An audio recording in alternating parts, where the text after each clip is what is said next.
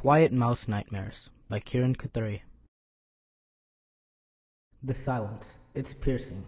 I want it to go away, but it sticks. Soaked cotton, it sticks. Slowly constricting, a charged boa, destroying my peace, creating anxiety, a mouse, trapped on a swinging chandelier, a house full of felines beneath him.